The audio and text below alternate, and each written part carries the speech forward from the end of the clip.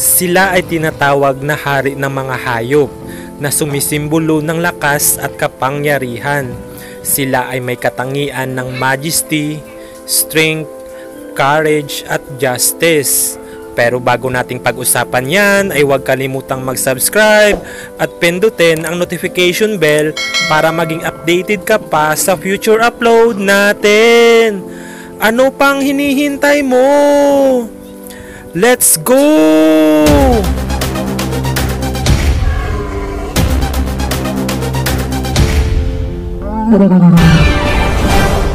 Ang leon ay isa sa pinakamalaki, pinakamalakas at powerful felines in the world at pumapangalawa lamang sa laki ng Siberian Tiger.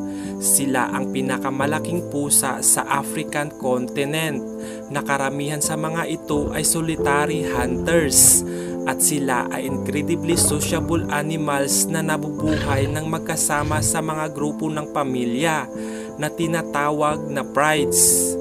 Sila ay may short coat of tawny or golden fur na may mahabang buntot na may isang tuktok ng mas mahabang balahibo sa dulo at may marka sa kanilang mga coats at sila ay may malalakas at powerful jaws na naglalaman ng tatlongpong mga ngipin na kinabibilangan ng four fang-like canines and four carnassial teeth that are perfectly designed for slicing through flesh. Sila ay pinakamalaking pusa sa mundo at sila ay may kiling ng mahabang buhok sa paligid ng kanilang muka na konektado sa testosterone levels at ang mga ito ay mula sa kulay ginto hanggang pula, kayumanggi at itim ang kulay at tinatakpan ang kanilang ulo, liig at dibdib.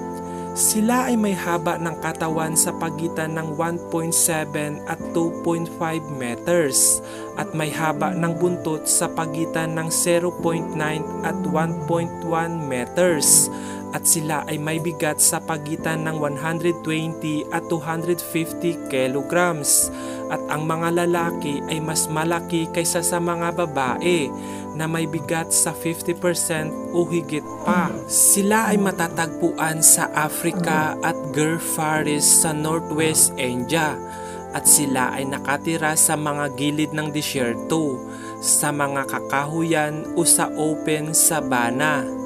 Sila ay nabubuhay sa pride na binubuo ng tatlo hanggang tatlumpung mga individual, ngunit kadalasan ay may average lamang sila ng apat hanggang anim na mga individual. Sa kabila ng kanilang lumiliit na bilang, ang mga leon ay talagang incredibly adaptable animals na maaaring umangkop at maninirahan sa mga dry climates habang nakukuha nila ang karamihan ng moisture na kailangan nila mula sa kanilang pagkain at ang kanilang diet ay pangunahing binubuo ng mga antelopes, gazelle, warthogs, wildebeest, usa, buffalo, batang giraffes, batang elepante, zebras at paminsan-minsan mga hares at ibon. Kumakain din sila ng karyon na mula sa pagpatay ng mga hyenas at ligaw na aso. Sila ay nangangailangan ng 5 kilograms ng karni bawat araw, habang ang mga lalaking nasa hustong gulang na ay nangangailangan ng 7 kilograms ng karni bawat araw. Sila ay maaaring mabuhay ng mahabang panahon ng walang tubig ito ay dahil sa nakakuha nilang moisture na kailangan nila mula sa halaman at sa kanilang biktima. Sila ay kabilang sa top 10 fastest land animal in the world na may bilis na 80 km per hour. Ngunit sila ay may lack of endurance, kaya tumatagal sila sa paghuli sa kanilang biktima na kailangan pa nilang lapitan ang kanilang target bago sumugod.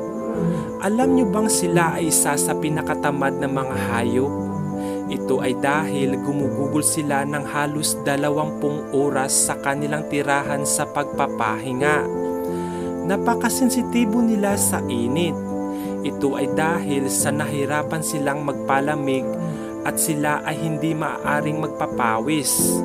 Kaya ang pinakamahusay na paraan upang sila ay lumamig ay sa pamamagitan ng pagpapahinga sa lilim o sa matataas na mga bato kung saan makakalanghap sila ng malamig na simoy. Ipinagtatanggol nila ang kanilang pride at nagpapatrolya sila at minamarkahan nila ang kanilang teritoryo ng kanilang ihi at dumi.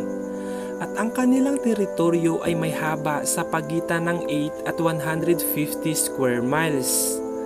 Napakalakas ang kanilang ungol na umaabot sa 114 decibels in volume na kaya nitong basagin ang eardrum ng isang tao.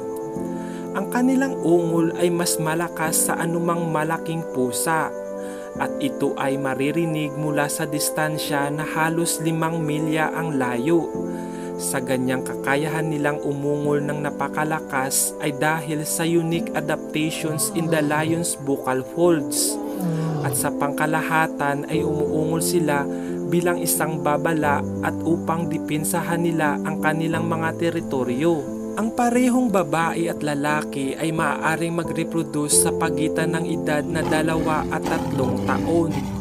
Ngunit sa kabila nito ay madalas na hindi sila nagbred hanggang sa ang pride ay matatag na naitatag. Matapos ang panahon ng pagbubuntis na tumatagal ng halos apat na buwan ng mga babaeng leon, sila ay nagsisilang sa pagitan ng isa at anim na mga anak na ipinanganak na bulag at incredibly vulnerable sa kanilang bagong paligid.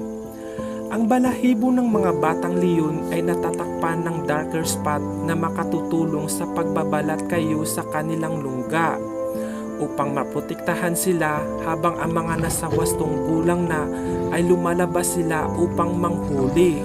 Ngunit kaunti lamang sa kanila ang nabubuhay. Ito ay dahil sa pag-atake ng ibang mga hayop o pagkagutom.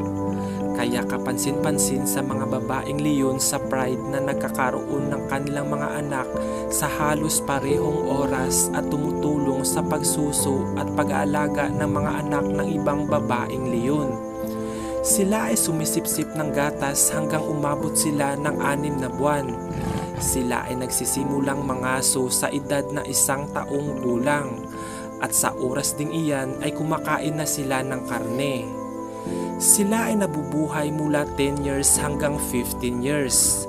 At sa captivity, ang mga leon ay nabubuhay ng mas mahaba kaysa sa wild. Sila ay the most dominant predator sa loob ng kanyang kapaligiran na nangangahulugan ito na ang iba pang mga hayop ay hindi gaanong banta sa kanila maliban lamang sa mga hyena pack na maaring maging sanhi ng mga nakamamatay na pinsala sa mga leon particularly na kung ito ay tungkol sa pagkain. Mayroong apat na banta sa mga leon at ito ay ang habitat destruction, human-wildlife conflict, illegal wildlife trade at climate change. At idagdag na dito ang mga kapwa nila leon na ayon sa ibinalita sa South Africa Sabi Sands ang isang pangkat ng mga lalaking leon ay bumuo ng isang coalition na pinaniwala ang pumatay sa higit sa isang daang mga leon sa buong teritoryo na kalaunan ay umabot sa 170,000 hektarya.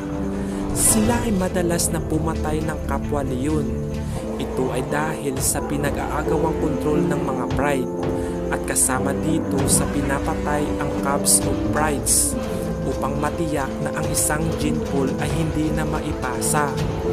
Ang bilang ng mga leon ay naapektuhan din ng mga sakit na dumaan sa mga hyenas mula sa mga ligaw na aso na mahigit sa isang libong mga leon ang namatay mula sa canine distemper sa pagitan ng taong 1993 at 1997 at sa pagitan din ng 1993 at 2014 ang IUCN or International Union for Conservation of Nature estimated the populations of lion decreased by 42%.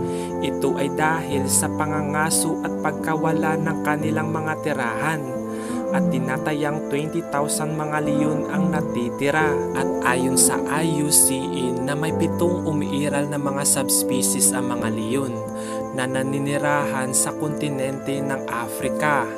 Ngunit napag-alaman na sila ay itinuturing na isang solong mga subspecies ng mga leon na naninirahan sa Asia at ito ay ang endangered lions, Asiatic lion, Ethiopian lion, Transvaal lion, Maasai lion, Southwest African lion, West African lion at Barbary lion.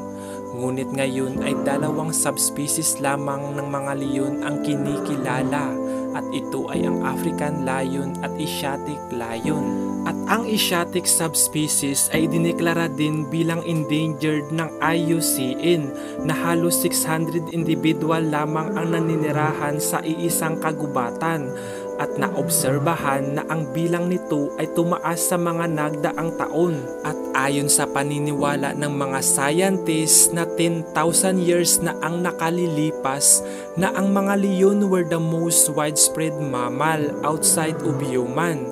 Gayunpaman, ngayon ang kanilang saklaw ay isang maliit na bahagi ng historical size na nagmula ito sa extension of two unique lion species malapit sa pagtatapos ng huling ice age at habitat loss na nagbawas sa hanay ng mga leon. Ang tanong kung mapanganib nga ba sila? Ang sagot ay oo. Mapanganib sila dahil sa pumapatay sila ng tao at kinakain nila ito. At ayon sa iniulat ng Nature na 871 katao sa Tanzania ang sinalakay ng mga leon sa pagitan ng 1990 at 2005. At ang isa sa pinaka nakatatakot na series of attacks ay naganap sa Kenya noong 1898 na kung saan pinatay ng dalawang leon ang dusi-dusi ng mga manggagawa sa riles bago binaril ang mga ito. At sa pagitan ng 1932 at 1947, marahil ay aabot sa 1,500 katao ang napatay ng isang agresibong pride of lions malapit sa bayan ng Enjong at Tanzania. At ngayon, pinapatay ng mga leon ang tinatayang isang daang katao bawat taon sa Tanzania. At alam nyo ba na ang pinakamalaking leon na naitala ay may bigat na 690 pounds na kinilala sa pangalang Cecil the Lion? Siya ay binaril sa South Africa noong 1936 ni Walter Palmer na isang American recreational big game trophy hunter. Sa gabi ang mga leon ay nakakakita ng anim na beses na mas mahusay kaysa sa mga tao at sila ay matatalinong hayop at sa katunayan ang mga leon ay pinakamatalinong species ng lahat ng malalaking pusa. Ang scientific name nito ay Pandra leo at ang genus Pandra ay nagmula sa Greek at naglalaman ng malalaking species ng pusa tulad ng mga tigers, lions, jaguars at leopards na may kakayahang umungol. At ang leo ay salitang Latin para sa mga leon. At iyan ang kwento at buhay ng mga leon. At kung nagustuhan mo ang video at kwento na kagaya nito ay huwag kalimutang mag-like, mag-share at mag-subscribe at pwede ka ring mag-comment sa mga gusto mong sabihin sa video na ito. Kaya hanggang dito na lang, salamat at paalam!